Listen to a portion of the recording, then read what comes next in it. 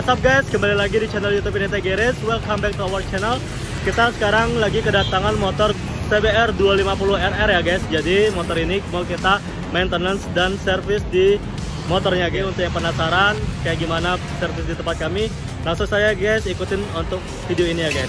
Jadi kita di sini awal-awal kita akan buka dulu untuk joknya. Di sini ada bu baut ya di sini yang sembunyi di sini kita buka dulu untuk bongkar di joknya ini guys. Lalu kita bongkar juga di bagian ini untuk membuka tangkinya ini guys. Jadi ini step by stepnya dari awal dari buka jok untuk tangkinya. Baru kita akan uh, lihat untuk bagian filter udaranya ya guys. Ya jadi box filternya ada di dalam. Jadi kita akan servis juga pembersihan untuk area filter udaranya guys. Terus pantengin ya guys untuk uh, channel kita Oke okay guys, jadi ini tangki sudah kita buka ya guys. Jadi kita buka tangki itu nggak perlu dibuka sampai diturunin gitu. Jadi ini kita langsung uh, di pegang aja dia guys. Jadi ada pegangannya, langsung cuma dipegang saja. Yang penting kita fokus dulu nih di bagian ini. Nah ini kita lihat di sini ada komponen bagian ECU-nya nih guys. Ini kita lihat ini kotor banget ya guys. Jadi ini motor kita akan servis agar dia nggak debuan seperti ini guys. Oke okay guys, terus saya pantengin, jangan di skip untuk video ini. Check it out.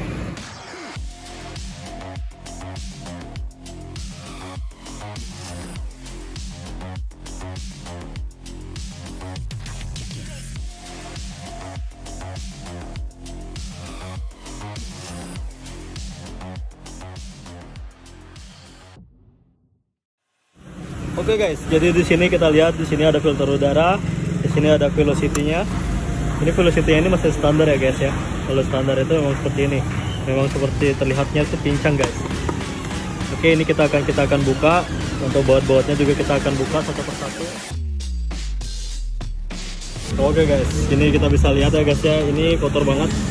Untuk filter udaranya ini juga kita akan kita bersihin. Lalu kita lihat juga di sini di bagian throttle bodinya nih. Kotor banget ya guys ini juga kita bakal clean up juga. Untuk box filternya ini juga kita bakal clean. Lalu di bagian filter ini juga kita akan clean juga. Oke okay guys pantengin aja untuk step by stepnya. Video kita ya guys. Oke okay guys. Jadi tadi kita lihat di filter udara itu kan sudah ada oli ya guys ya untuk yang nempel itu. Nah di sini juga kita lihat oli juga naik ke sini. Nah ini sebenarnya kita harus menyesuaikan untuk takaran olinya guys untuk oli mesin itu sesuai dengan takarannya dia walaupun dia itu motornya bore up sesuaikan saja guys. Ya. Oke langsung aja kita akan membuka bagian ini. Lalu kita akan bersihin untuk throttle bodinya guys karena di sini olinya sudah sampai naik sini guys. Ini benar-benar nggak bagus banget ya guys ya. Jadi perhatikan untuk takaran oli di motor kalian ya guys ini dia prosesnya. Nah lalu kita ketemu sama ini dia throttle body. Throttle body ini kita akan servis juga ya guys. Ini kita lihat ada olinya nih masih. Lalu nanti juga kita bakal cek nih di bagian businya juga guys. Jadi terus saja pantengin untuk video kita untuk mengetahui step by stepnya. Jadi kita sekarang mau buka bagian throttle bodinya nih guys untuk ini injektornya dia. Nanti kita juga bakal kita buka. Ini throttle-nya ini tidak pakai tali gas ya guys. Jadi ini sudah memakai teknologi throttle by wire. Lalu di CBR ini juga mempunyai tiga mode riding. Jadinya tuh comfort, sport, dan sport plus. Sekarang kita mau buka bagian throttle bodinya dulu gini guys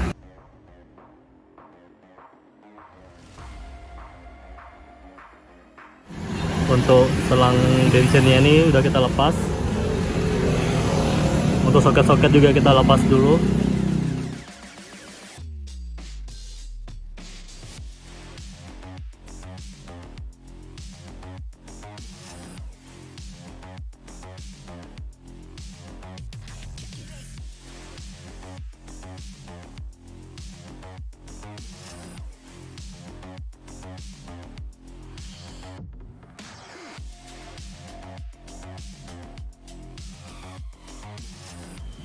guys jadi kita lihat di sini ya guys ya ini kotor banget guys di bagian dalamnya nih Nah ini soket dari throttle by wire-nya guys. Dan ini injektornya dia ada dua. Nanti kita lihat di sini. Oke, ini juga kotor banget guys. Jadi ini kita bakal proses untuk pembersihan di bagian throttle bodinya juga guys ya. Jadi pembersihan throttle body itu bagaimana sih yang tepat agar tidak sampai keluar kode error ya guys ya untuk bagian throttle bodinya biasanya ini sini paling sensitif sekali guys. Apalagi ini memakai throttle by wire guys. Jadi pantengin aja untuk video kita cara pembersihannya ya guys ya. Oke guys stay tune aja untuk video kita. Let's go. Oke guys ini dia proses dari pembersihan filter udaranya ya guys ya. Jadi ini extra sabar untuk bersihinnya agar dia totalitas gas bersihnya guys. Jadi kalau ini dia masa kotor seperti ini masih bisa dibersihin ya guys ya. Kecuali dia udah kena oli baru wajib namanya itu untuk ganti filter udaranya ini guys. Jadi kalau teman-teman juga mau ganti untuk pakai filter udara yang racing itu juga rekomend banget ya guys. Jadi di sini kita gampang banget untuk bersihinnya guys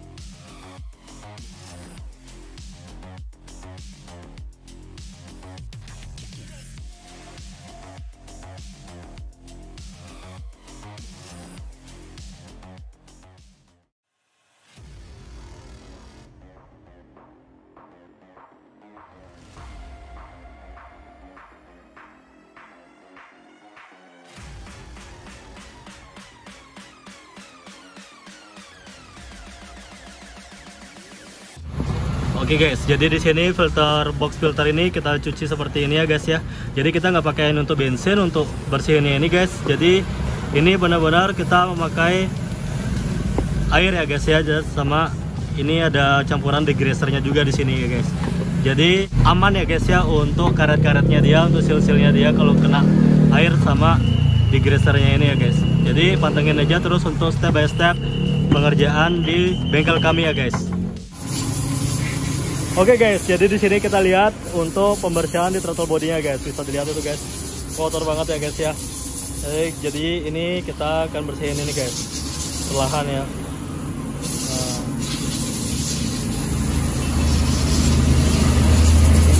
Oke, itu kotorannya bisa dilihat guys.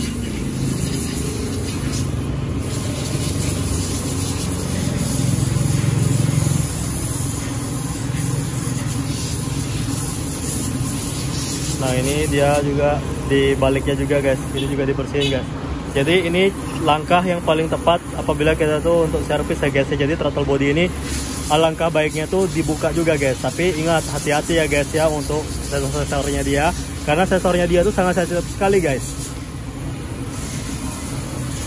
Nah itu kotorannya tuh kelihatan ya guys ya.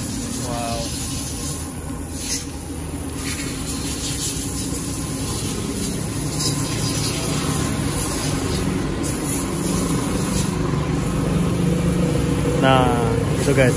Jadinya ya kita tuh tidak tidak sampai untuk disemprot sampai ke dalam-dalamnya itu guys. Agar tidak mempengaruhi sensor-sensor dari TPS-nya dia ya guys ya. Dan tunjukkan idle-nya dia itu biasanya tuh ada yang di dalam itu tuh itu jangan sampai kita semprot sekali untuk bersihin throttle bodinya guys. Itu bisa menyebabkan error di bagian ECU-nya juga guys. Nah jadi kita gitu kita lihat. Ini sudah bersih kita lihat nah ini juga kita bersihin juga.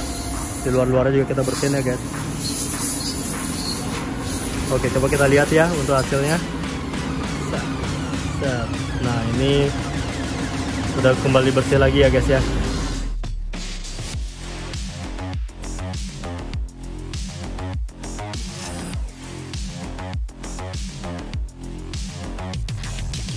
Oke okay guys, jadi di sini kita lihat box filter udaranya yang tadi kita lihat itu tuh yang udah di cleaning.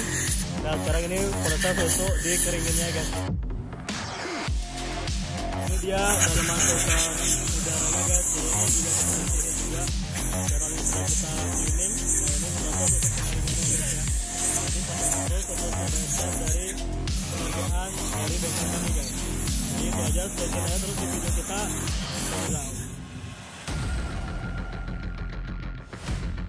Oke guys, sekarang kita akan coba untuk lepas di businya guys. Jadi nanti kita akan cek juga bagian busi apakah dia masih bagus atau tidak. Itu juga kita akan cek juga guys. Ini sub businya guys. masih panas guys. Oke guys, jadi untuk kunci bucinya dari TBR 250 RR ini juga beda ya guys ya dari kunci-kunci yang lain. Dia tuh lebih uh, ramping guys.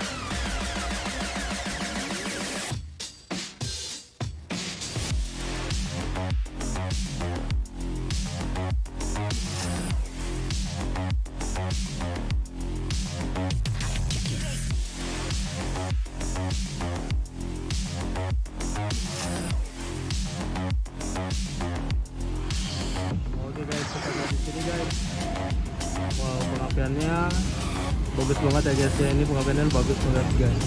Tapi kita lihat juga di sini.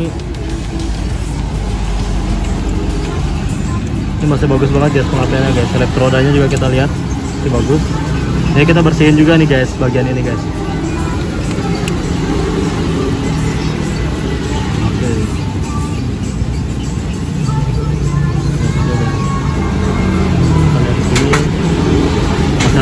Guys ya. Nanti kita bersihin juga guys. Pengapiannya di sini kita lihat bagus ya guys ya untuk pengapiannya. Oke, jadi kita akan bersihin aja guys. Langsung saja kita bersihin guys. Check it out.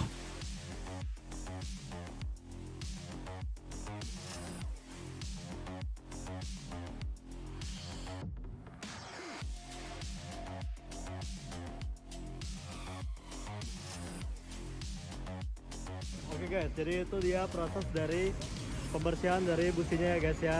Jadi maaf dulu kalau suaranya agak berisik guys. Jadi di sini kita lihat ya ada odong-odong nih, ya. Terus di sini juga kita di pinggir jalan guys. Jadi tolong dimaklumin ya guys kalau ada suara-suara yang mengganggu guys ya. Jadi pantengin aja terus untuk video kita step by step untuk pengerjaan servis dengan overhaul ya guys.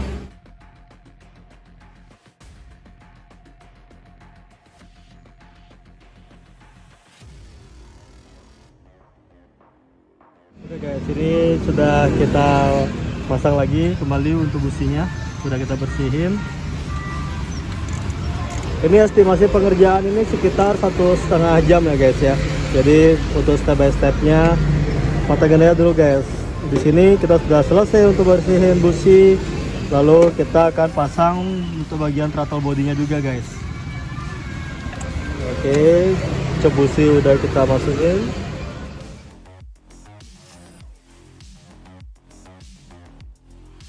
Ini karetnya juga sudah kita pasang kembali.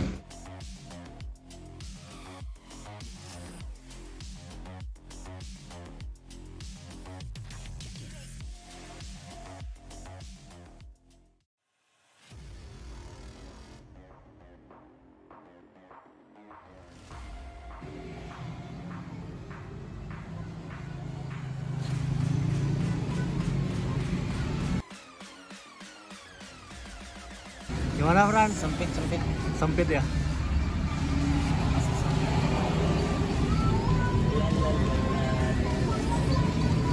Oke guys, jadi di sini di Neta Garage uh, Batu Bulan. Di sini kalau teman-teman yang mau ke sini udah tahu pasti mekanik dari Kupang ya guys ya. Ini namanya Fran untuk mekanik kita di cabang Batu Bulannya guys. Jadi bisa langsung saja konsultasikan semua problem kehidupan atau motor kalian bebas ya guys ya. Jadi bisa diajak curhat juga. Jadi ya dia bisa 24 jam guys. oke gaskan Gimana? gaskan Oke siap siap siap.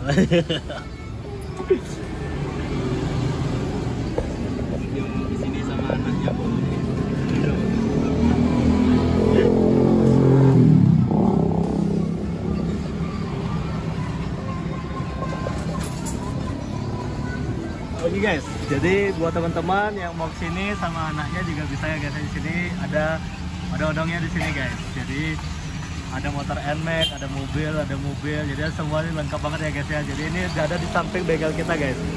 Jadi oke,